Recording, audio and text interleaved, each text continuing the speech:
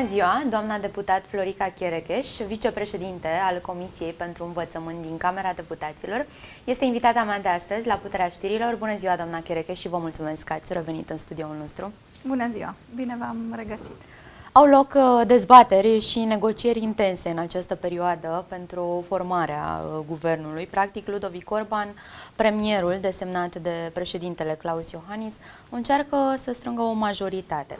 Care sunt uh, ultimele informații din PNL? Am văzut astăzi, au avut loc, a avut loc practic ultima rundă de întâlniri cu partidele.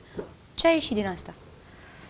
Da, deci după consultările de săptămâna trecută în care s-a discutat cu fiecare să vedem ce pretenții au, dacă își doresc sau nu să intre la guvernare, uh, am, uh, s-a purtat o nouă rundă de negociere astăzi cu toate partidele, pentru că vineri este ultima zi în care premierul desemnat, domnul Ludovic Orban, ar trebui să vină să sesizeze Parlamentul cu privire la propunerea lui de guvern și de program de guvernare. De să vină cu lista de miniștri. Să vină cu lista de miniștri și cu programul. Exact ce anume se dorește să se facă în această perioadă. Uh, Discuțiile au fost uh, mai mult sau mai puțin uh, tensionate. Uh, Am văzut și au declarațiile ieșit, de după, de altfel. Da, președinții partidelor cu declarații de presă. După toate consultările, se pare că guvernul cu care domnul Orban va veni va fi format doar din PNL, deci membrii, va fi monocolor. Monocolor, membrii PNL sau persoane care au o anumită competență într-un domeniu, dar care nu fac parte din partid, dar au susținerea deci partidului. Un fel de tehnocrați, dar cu susținere clară a PNL-ului. Pe de altă parte, în ceea ce privește programul de guvernare, sunt lucruri care au fost discutate, negociate, lucruri care au fost prinse și în moțiunea de cenzură, dar au fost uh, agreate cumva și în uh, cele două runde de negocieri, pentru că sunt practic uh, niște solicitări uh, comune și auzim, de exemplu, acum că se tot vorbește și USR-ul uh, spune că pentru ei este foarte important uh, proiectul cu alegerea primarilor în două tururi. Dar uh, Partidul Național Liberal este cel care a depus uh, prima inițiativă de acest gen și bineînțeles că o vom susține dacă aceasta va cădea și va trece inițiativa depusă exact pe aceeași temă de USR sau de PMP, bineînțeles că le vom vota. Deci sunt câteva lucruri care practic sunt priorități pentru toți. Deci PNL nu are majoritate, nici la Cameră, nici la Senat. PNL este nu are adevărat. cum să aibă și majoritate, are... pentru că nu este atât de mare încât să poată să asigure majoritatea doar uh, din PNL. Dar atunci când s-a discutat despre susținerea votului la moțiune, s-a discutat și despre faza a doua, adică nu vrei să uh, demolezi ceva fără să pui ceva în loc. Un om politic și un partid, polit, un partid responsabil vine cu o soluție la problema și la criza care este acum. Deci spuneți și... că partidele s-au angajat uh, inclusiv pe vot, uh, pe guvern? Uh, în guvern? textul moțiunii de cenzură era un paragraf care uh, spunea acest lucru foarte clar, era negru pe alb, că Uh, după căderea guvernului sau în cazul în care în urma moțiunii guvernul Dăncilă va cădea, se va asigura aceeași susținere din partea partidelor și a uh, celor care votează căderea și moțiunea, uh, se, va, se va asigura aceeași susținere pentru votul de investire a noului guvern fără a fi precizat la momentul Cum, respectiv în moțiune care va fi noul guvern, pentru că acesta a rezultat în urma negocierilor. Și, practic, în urma negocierilor s-a constatat că este mai bine să se meargă cu guvern monocolor, pentru că erau niște condiții care, practic, se excludeau reciproc. Dacă vine cu tare partid, celălalt nu votează. Dacă vine cu tare partid, altul nu votează. Există și rivalitățile. Există uh, multe lucruri, da. Uh, dar am văzut o schimbare de atitudine la USR, uh, surprinzătoare, aș spune eu. Dacă până acum eram siguri că va vota alături de PNL pentru orice împotriva PSD și înlocuind PSD-ul și guvernul de Cila, astăzi vedem că USR-ul cam oscilează. Da, nu înțeleg care e problema lor, pentru că uh, toți am fost nemulțumiți de performanța guvernului sau antiperformanța guvernului Dăncilă. Toți am cerut demisia ministrilor, a premierului, uh, la fiecare intervenție pe care am avut-o. Iar acum când am reușit să dăm jos acest guvern, practic cu fiecare zi de întârziere în a vota și în a trece acest nou guvern uh, al PNL-ului, prelungim starea de fapt și prelungim domnia PSD-ului în România. Interimatul, Viorica Interimatul și cheltuirea care... de bani publici, adică sigur că știți de tot ce se întâmplă în țară. Se fac uh, concursuri peste concursuri, se angajează, se numesc uh, persoane în tot felul de funcții, în tot felul de instituții, se dau uh, bani de la bugetul de stat uh, pentru lucrări mai mult sau mai puțin necesare în condițiile în care la noi deficitul crește în fiecare zi.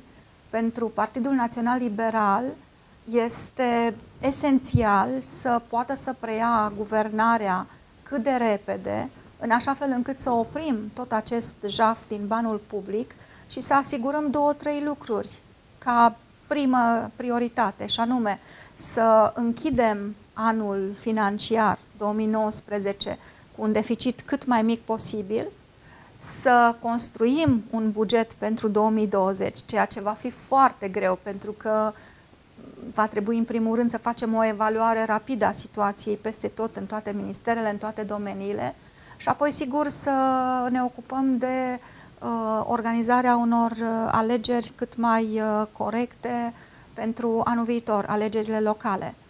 Dacă noi mai continuăm această situație și dacă unul dintre partenerii noștri din opoziție aleg să nu voteze în vestirea, atunci situația asta se prelungește și se poate ajunge la, eu știu, prelungirea acestui mandat de interimat nu se știe până când.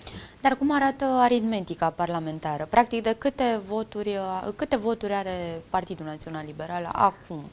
Uh, știți foarte bine de câte voturi este nevoie. 233.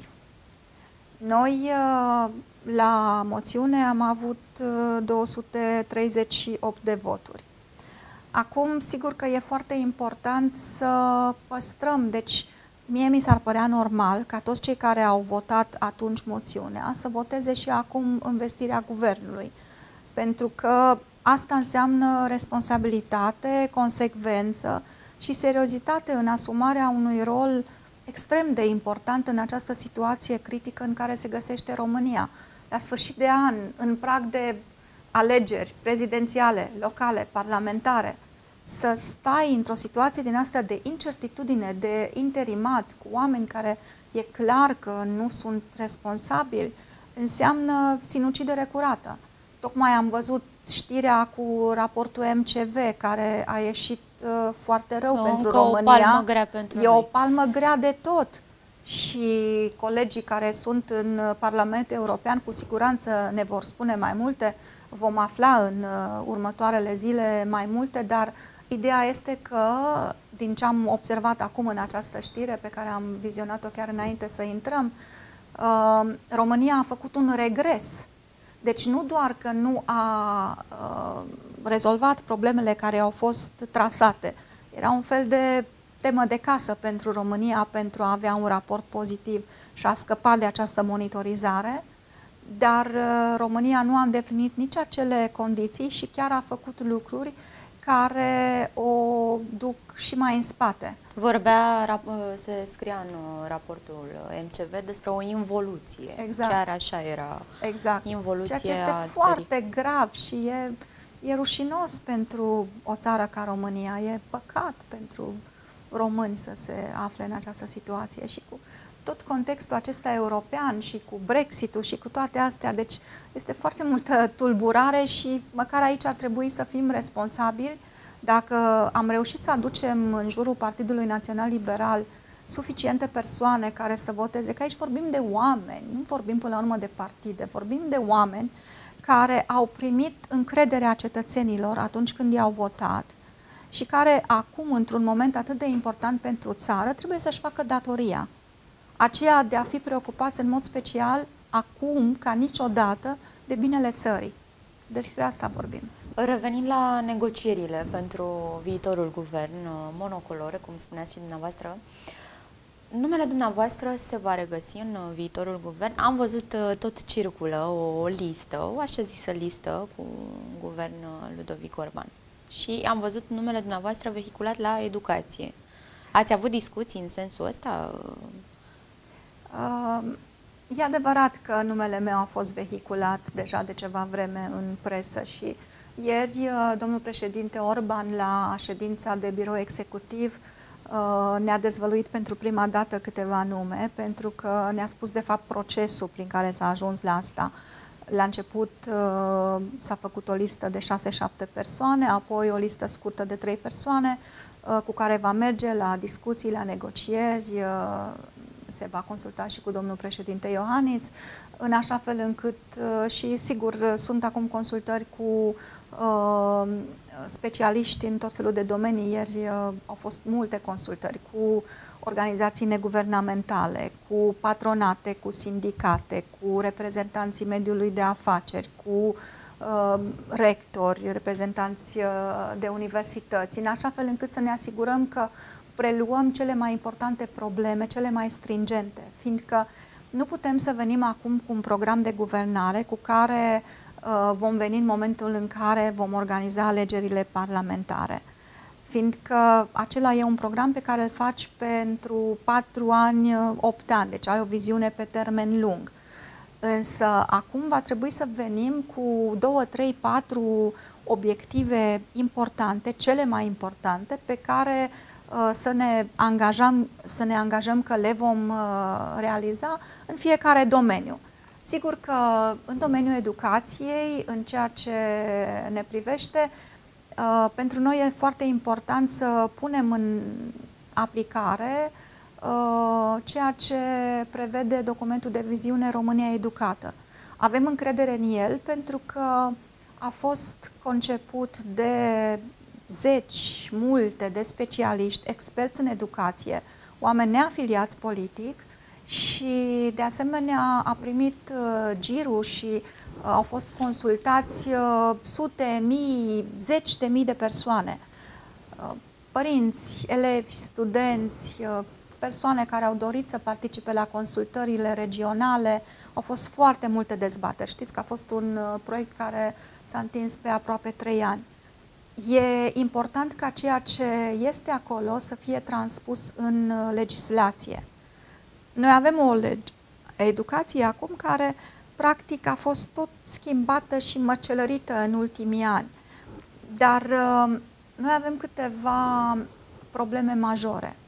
Una este analfabetismul funcțional de 40%, ceea ce ne pune undeva în fruntea Europei și e foarte trist acest clasament. Uh, asta dovedește faptul că nu reușim să-i facem pe copii să înțeleagă ce li se predă, să-și însușească, să dobândească niște abilități și competențe de uh, sintetizare a informației pe care o primesc, încă le turnăm cu pâlnia uh, informații în cap, deși informațiile sunt acum la îndemâna tuturor, în loc să-i ajutăm să facă această sinteză și conectare a informațiilor între ele. Din păcate, predarea și evaluarea transdisciplinară încă nu se realizează, deși sunt prevăzute în legea educației și ar trebui să, intre, să fie intrat în vigoare. Și asta nu se face pentru că nu avem profesori pregătiți în acest sens. Deci avem profesori care au luat uh, doi la titularizare și care profesează. Uh, da, din păcate, Despre este nevoie de a, de a crește calitatea actului predării și prin uh, introducerea masterului didactic, adică să vină într-adevăr oameni uh, pricepuți în sistem, să facem uh, profesia aceasta de dascăl cât mai atractivă. Faptul că au crescut salariile nu este suficient. E clar că trebuie mai mult pentru a reda prestigiul uh, profesorului, al dascălului. Uh, de asemenea, o altă problemă majoră pe care o avem este cea de abandon școlar. Și aici uh, știm cam care sunt cauzele. O cauză majoră este abandonul între clasa a 8 și a 9 a copiilor care vin din mediul rural sau din familii cu venituri reduse și care nu își pot permite să-și țină copilul mai departe la liceu. Avem traseu educațional unic. Uh, nu poți să-ți închipui și aceasta nu trebuie să fie uh, singura opțiune pentru un copil care se naște, că el se duce la școală, termină liceul, dă bacalaureatul, face o facultate și apoi muncește ceva. Sau nu, pleacă în afară. Cum sau pleacă în afară că... dacă nu e în stare să-și ia bacalaureatul sau, uh, eu știu, nici nu se prezintă. Deci trebuie să creăm oportunități pentru toată lumea, dar cum creăm aceste oportunități? În primul rând trebuie să ne uităm să vedem care sunt cerințele de pe piața muncii. Trebuie să cunoaștem copilul. Cu adevărat, elevul trebuie să stea în centrul sistemului de învățământ. Nu profesorul, nu școala cu ce are ea de oferit, uh, nu dotarea școlii trebuie să determine opționalele sau, uh, eu știu, uh, direcția pe care o iau uh, copiii din acea școală, ci trebuie să vedem ce vor copiii să facă, la ce sunt ei buni, care le sunt preocupările, talentele lor născute și să-i ajutăm să-și desăvârșească potențialul. Atâta vreme cât, și acum practic vă dezvălui câte ceva din prioritățile noastre. Uh, noi nu ne ocupăm să-i ajutăm pe copii să se cunoască, nu vom reuși să reducem prea mult abandonul. De ce? Pentru că unii o iau într-o direcție greșită. Fiind, uh, eu știu, prea comos să gândească pentru ei sau să-și dea seama la ce sunt buni, fiind uh, mânați de la spate de părinții care îi vor neapărat într-un domeniu sau altul, din vari motive uh, sau eu știu ce idei ar putea să aibă copiii că dacă merg în domeniul ăsta o să câștig bine sau o să am ce știu eu ce serviciu. Deci este important să oferim copiilor consiliere școlară, orientare profesională. Am fost uh, într-o delegație la Berlin în urmă cu câteva săptămâni și în mod special am vrut să văd cum funcționează sistemul la ei și, în mod special, uh, iarăși, uh, cum merge învățământul dual. Pentru că eu cred că acesta este învățământul pe care trebuie mult să-l dezvoltăm. Acolo, în clasa 5 și a 6 se face consiliere și orientare în mod intensiv. Copiii se întâlnesc regulat cu un uh, consilier școlar și cu un psiholog școlar. Deci încă din clasa 5 -a. Da. Ei în a 7 deja știu exact pe ce șină se duc. Uh, ce li se potrivește. Li se dă ocazia să experimenteze domeniul pe care cred că îl agrează, unde le scripesc ochii, unde le place să fie. Și uh, învățământul este de 10 clase, obligatoriu, iar la finalul celor 10 clase, cei care merg pe filiera academică să-și continue liceu, bacalaureat, facultate, se duc liniștiți mai departe. Ceilalți la finalul clasei a 10 la 16 ani, se duc și își caută o companie cu care să încheie un contract de ucenicie. Ei sunt responsabili pentru asta. Sigur că deja ei știu, companie, nu mă refer doar la fabrică, poate fi în orice domeniu, spun așa, o societate, ceva. Uh, acolo se încheie un contract de ucenicie, iar compania cu care a încheiat acest contract, practic este un fel și de contract de muncă cu timp parțial de lucru, sigur, uh, compania este responsabilă să găsească unitatea școlară potrivită ca partener educațional, în așa fel încât elevul, tânărul, să facă practica la întreprindere 70%, 30% teorie la școala respectivă. Și există tot felul de asociații, chiar și într-un anumit domeniu profesional. Eu am vizitat, de exemplu, un centru de formare profesională în uh, construcții, uh, care era realizat și susținut de firme care lucrează în construcții, de o asociație a lor patronală. Uh, era un sistem interesant. Dar ideea este următoarea să responsabilizezi cât mai repede copilul, să le ajut să se cunoască, să îl îndrumi și să o faci într-un mod în care pe el îl ajut să își dea seama că poate să devină cel mai bun în domeniul respectiv pentru că îi se potrivește domeniul. Revin la ceea ce ați spus uh, anterior. Spuneați că ieri a avut loc o ședință, biroul executiv, și că au fost prezentate mai multe nume. Da. Și vă întrebam uh, dacă și Credeam numele... că pot să evit acea întrebare. Dacă și numele dumneavoastră se regăsește, dacă v-ați auzit numele. Uh, da, mi-am auzit numele. La Ministerul Educației. La Ministerul Educației, da.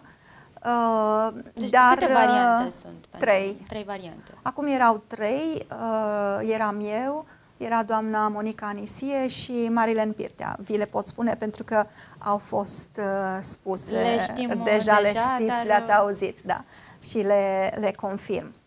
Uh, din ceea ce vă pot spune, în ceea ce mă privește, este că voi rămâne onorată de această nominalizare, dar voi rămâne să-mi văd de treabă la Comisia de Învățământ, pentru că este mult de lucru acolo doriți uh, și sunt de deja de șapte ani în comisia respectivă. Uh, știți, cred că în aceste momente este foarte important să dăm dovadă de spirit de echipă, să îi lăsăm pe cei care își asumă guvernarea să aleagă în funcție de, uh, eu știu, uh, prioritățile care sunt, uh, de ceea ce li se pare mai potrivit și la momentul respectiv, deci eu sunt cumva un membru al echipei care stau și sunt un, un soldat disciplinat. Sigur că îți dorești promovare în profesia pe care o ai, dar pot foarte bine să rămân în continuare aici. Deci nu, nu știu, nu, nu mă duc să bat cu pumnul în masă la nimeni pentru asta, nu, chiar deloc. Dar totuși ați accepta dacă se va ajunge la nume final? Dacă se va ajunge acolo să mi se ceară acest lucru, da, sigur că voi accepta.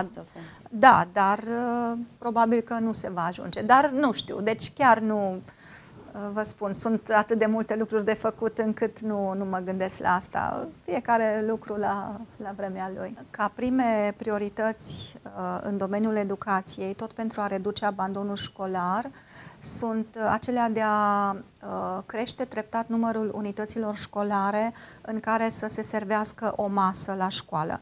E foarte, foarte important acest lucru, pentru că sunt copii care ar fi atrași la școală și ar rămâne să studieze în continuare dacă li s-ar da o masă ar înlocui și programul Cornul și Laptele, care este deja perimat.